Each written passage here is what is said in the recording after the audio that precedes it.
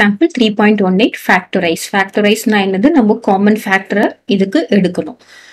இப்போ நம்ம என்ன பண்றோம்? Four X square four X square Y plus eight X Y இருக்கு.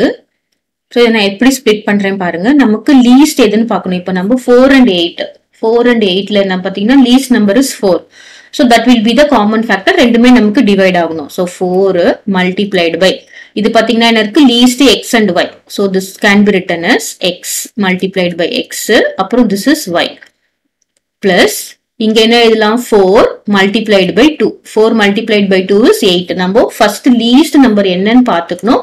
அதை தான் நம்ம காமன் ஃபேக்டரா வெளியில எடுக்கணும். நம்ம two into two into two போட வேண்டாம். ஃபோர் மல்டிப்ளைட் பை டூ மட்டும் போடலாம். அப்புறம் multiplied by X multiplied by Y கிளியரா இப்போ பாத்தீங்கன்னா இதுலயும் ஃபோர் காமனா இருக்கு இதுலயும் ஃபோர் காமனா இருக்கு. பாருங்க இங்க பிளஸ் இருக்கு அது முக்கியமா பார்க்கணும். மல்டிபிளிகேஷன்ல தான் காமனா வெளியில எடுக்க முடியும். So that is equal to இங்க ஃபோர் காமனா நம்ம வெளியில எடுத்துட்டோம். ஓகே ஃபோர் காமனா வெளியில எடுத்துட்டோம். அதுக்கப்புறம் பாத்தீங்கன்னா இதுல எக்ஸ் காமனா இருக்கு இதுலயும் எக்ஸ் காமனா இருக்கு. அப்ப நம்ம என்ன பண்றோம்? எக்ஸ வெளியில எடுக்கிறோம். அதுக்கப்புறம் பாத்தீங்கன்னா இங்க ஒய் காமனா இருக்கு இங்க ஒய் காமனா இருக்கு. ஸோ நம்ம ஒய்ய வெளியில எடுத்துட்டோம். கிளியரா இப்போ காமனா வெளியில எடுத்தாச்சு. இப்போ என்ன இதுல ரிமைனிங் இருக்கு பாருங்க. ஃபோர் எக்ஸ் ஒய் எடுத்துட்டோம். ரிமைனிங் என்ன இருக்கு? இங்க எக்ஸ் தான் இருக்கு. இங்க என்னது? பிளஸ் இங்க ஃபோர் எடுத்தாச்சு. எக்ஸ் ஒய் ரெண்டுமே எடுத்தாச்சு. அப்போ இங்க என்ன இருக்கு வேணும்னே? டூ மட்டும்தான் இருக்கு.